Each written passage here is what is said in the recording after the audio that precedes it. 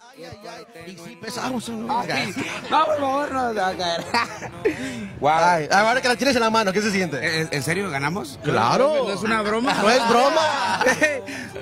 Ay. Un beso, por favor, muchachos, ganamos, muchachos. Grupo firme completamente en vivo. Sí, vamos a festejar ahorita que termine la entrevista. Si quieres, ahí tenemos unas caguamitas por ahí atrás y te vas. Ahí está la hielera, primo, créeme. Aprovechando el calorcito aquí. Los... Sabroso. Está, está caguameable. Con el solecito, el airecito cae con mouse, se dice por ahí, ¿no? Uy, ¿cómo no? Y saben que vamos a platicar, lo que fue el año 2022 fue el año para Grupo Firme, de costa a costa. Fueron los primeros y como mexicano les quiero decir felicidades. Muchas gracias. Porque llenaron los estadios, cada uno, y fueron los primeros en hacerlo. ¿Qué se siente lograr sí. algo así? Y aprovechando eso, quiero invitarlos a todos el 27 de mayo.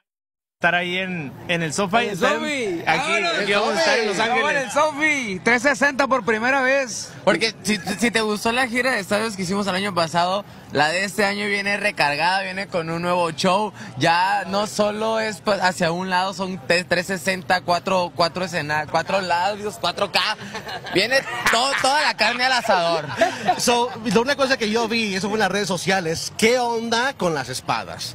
Wow. ¿Qué onda con eso? ¿Me Son que machetes. Sí, son machetes, son machetes, son machetes totalmente reales, tienen filo, o sea, la verdad, yo aquí traigo una cortadita en la pierna que, que me hice, pero realmente creo que es un espectáculo totalmente mexicano, trae un poco de todo, a veces salimos vestidos así como nos ves ahorita, a veces salimos con tejana, a veces salimos, pues esta vez vamos a bailar con machete, o sea, es algo loco, pero representando las raíces de nuestro queridísimo México. Entonces, yo creo que esta gira va a ser algo muy impactante, la verdad que la gente no se lo espera y son cosas muy, muy bonitas que van a vivir en el espectáculo de Grupo Firme. Hay que conectarlas. ¿De dónde salió el nombre? ¿Cómo nació eso? Es que la, la gira pasada se llamaba Enfiestados y Amanecidos. Entonces, pues ya nos enfiestamos, ya nos amanecimos. Entonces, cuando ya uno ya duerme un ratito y todo, ah, pues una cervecita para, para curar la cruda. Entonces, Hay que hay que conectarla. Hay que conectarla, hay que seguir tomando, hay que seguir pasándola bien. So, otra chela es el remedio para la, la cruda. ¡Claro! Otras, otras otras. varias, otras varias. Gracias.